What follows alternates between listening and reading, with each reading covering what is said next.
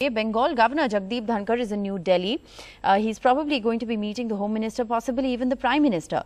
The government left New Delhi last evening after kicking up a huge storm by going public with a stern letter to Chief Minister Mamata Banerjee on allegations of post-poll violence.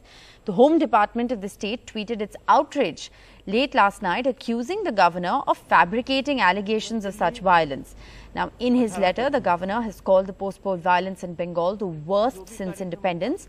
The Bengal government said that the violence took place under the EC's watch.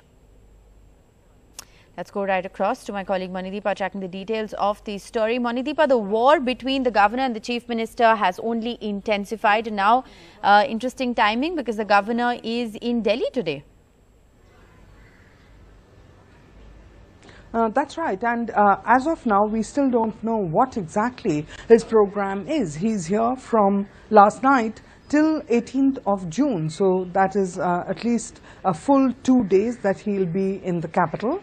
Uh, is he likely to meet uh, the uh, Home Minister?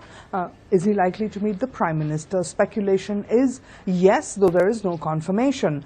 And what would the meetings be about? Um, clearly, given the way he released his letter to the Chief Minister publicly uh, last afternoon, indication is that the contents of that letter uh, may be part of his discussions uh, with whoever he meets in Delhi and the contents are not not flattering to Chief Minister Mamata Banerjee.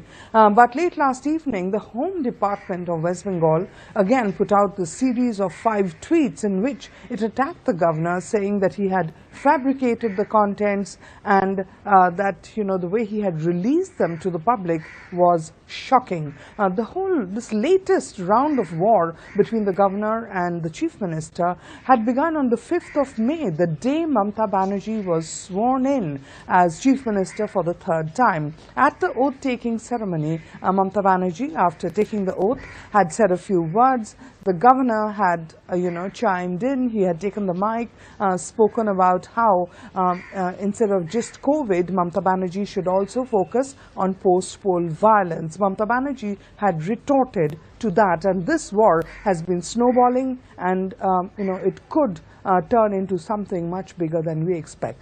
There is, of course, the West Bengal government, which, you know, privately perhaps wants the governor out of Bengal, but he has another two-year tenure, and uh, this war uh, seems unlikely to settle down just yet.